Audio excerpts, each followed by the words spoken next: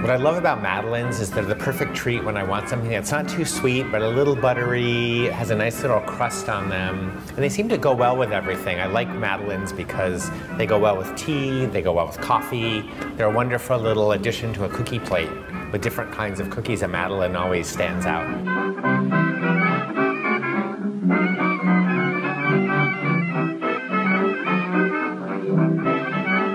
I worked really hard on my Madeleine recipe because everybody wanted to know how to get that hump.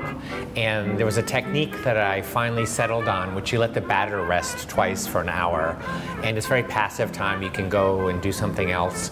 But those double restings seem to be the secret to making that great hump on the other side.